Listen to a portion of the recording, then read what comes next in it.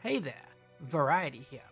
Welcome to today's video in which we're going to be doing a Synthesis Doctor raid guide for the challenge mode in Tarisland.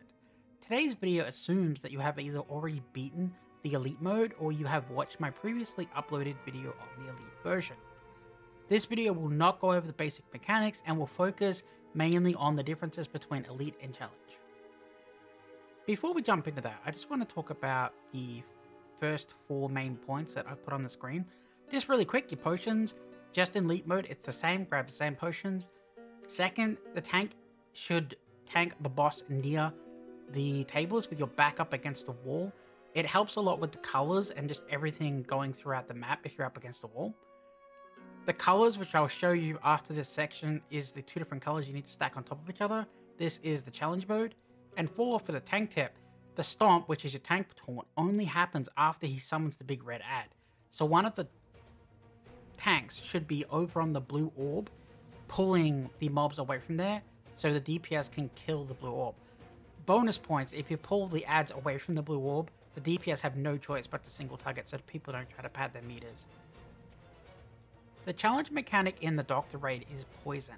What it's going to do is everybody's going to highlight orange, as you can see on the screen, and people are going to get two different colors under them. You need to run on somebody that doesn't have the same color as you. If you run onto the wrong person, you blow up. The reason I've decided to show this particular scene is because you can see that we're up against the wall. This is a great location because as me, as the secondary tank, I can run left to the long range or I can run right to the tank. So if the tank's opposite of me, I'll always touch him because he's right beside me. But if he's not, he will go touch the melee to the right side of the boss, and I will go to the left to touch the range. You want as little crossover here as possible, because it's very, very annoying. The two most dangerous times in the raid are when you're trying to do your colors at the same time as when the green and blue ads come out, and when he's summoning the green slam. If you're on about our speed the second time round, just before you go underneath him, he does the colors, which I'll show you now, but make sure you don't stack too early underneath the boss before the colors come up.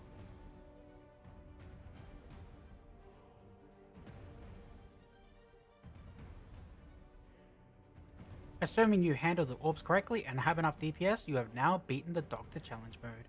I'll catch you next time.